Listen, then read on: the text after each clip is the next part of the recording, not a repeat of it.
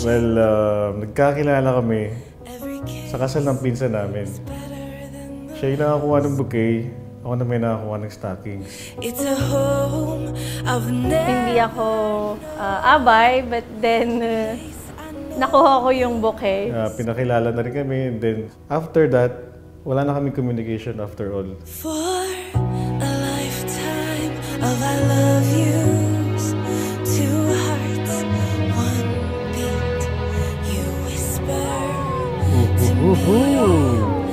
Ano to?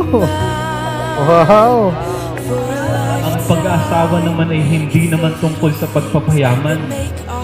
Dok, bahagi na magsumikap sa buhay. Pero huwag niyong kakalimutan yung kung bakit kayo nagpakasal.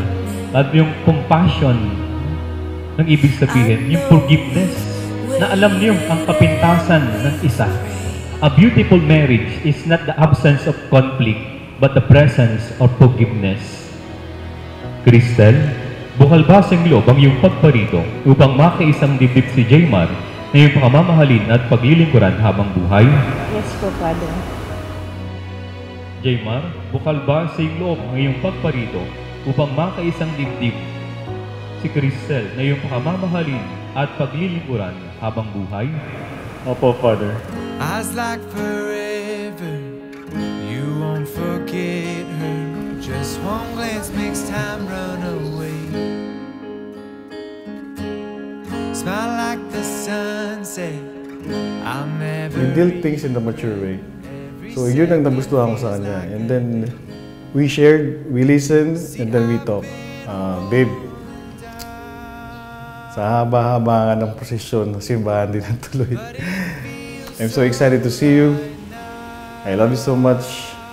See you later. As I said, stay. I've been waiting for you. As I.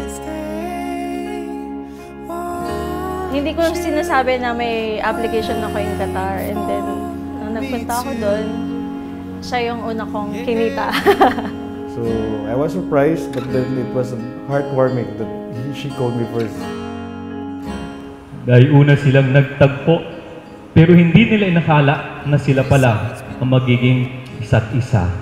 Pero ngayon, ating masasabi kay na Cristel at Jaymar, sila'y pinagtagpo at tinadhana. Who would have thought na after 10 years, we will be here, na magkakatuluyan yung lalaking abay na nakakuha ng garter and yung babaeng bisita na nakakuha ng bouquet na totally strangers sa isa't isa. We led a different lives, been busy in our past relationships, pero siguro meron talagang sariling way si Lord. If it's meant to be, it will be.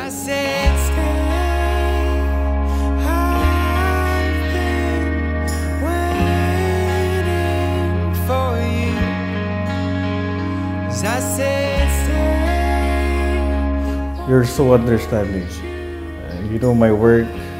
I have no more time for myself.